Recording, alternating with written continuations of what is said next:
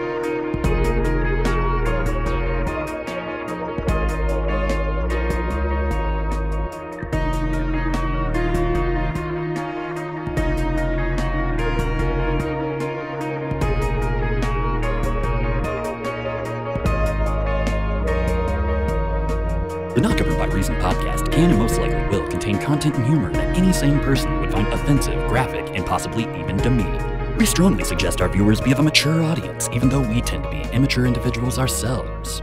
This podcast is made for the sake of entertainment and should be viewed with an open mind and a crude sense of humor. Viewer discretion is advised.